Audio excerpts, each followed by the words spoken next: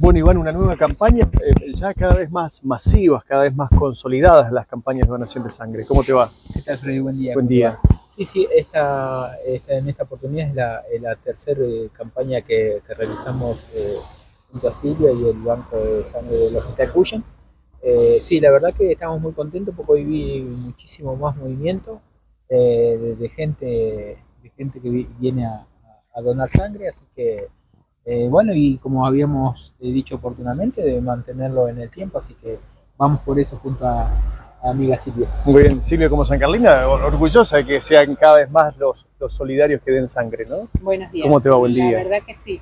Eh, el trabajo que a lo que nosotros apuntamos es al trabajo de la donación voluntaria de sangre y necesitamos de que todas las instituciones siempre se acerquen para lograr convertir el donante de reposición en donante voluntario. Ujú. Eh, como dice Iván, hoy es con una afluencia que vinieron de otros pueblos vecinos a donar sangre también, más la gente que viene y que son repetidos, el donante Ujú. voluntario repetido y sumándose más gente que es a Bien. lo que apuntamos nosotros desde el hospital trabajando con las comunidades. Bien. ¿Cuál es el destino que tiene esta sangre que los sancarlinos donan? La- el destino de la sangre es para el paciente que lo necesita, no importa dónde esté. Nosotros en el Hospital Cuyen tenemos una alta demanda, muy alta demanda de donantes de sangre.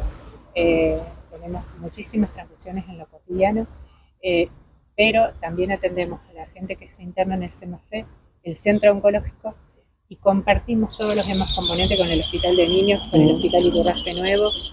eh, y como te digo, siempre el, digamos, la sangre tiene que estar disponible para el paciente que lo necesita. Bien. ¿Quiénes vienen a donar sangre? ¿Jóvenes?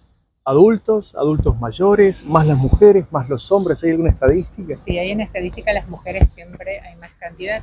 En ocasiones el varón por algún evento particular o depende del lugar.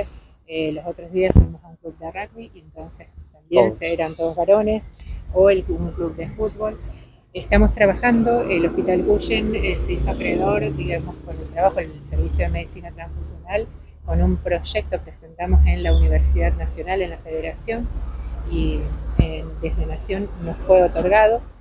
Ese proyecto es para trabajar sobre la donación voluntaria, entonces estamos trabajando con un grupo etario de 18 a, a 30 años en la facultad, un poco Bien. más, pero tenemos donantes de todas las edades. Sí es el grupo etario entre los 20 y los 50 años el que más dona. Bien. ¿Cada qué periodicidad vienen este día? Cada cinco meses más o menos venimos. Este, Bien. Tratamos de venir dos veces en el año. Bien. Ahora para noviembre, entre noviembre y diciembre, vamos a Vamos hacer a la segunda Muy colecta bien. de donantes de sangre. Felicitaciones por la Muchas tarea. gracias Felicitaciones. estar. Gracias, Iván. Gracias.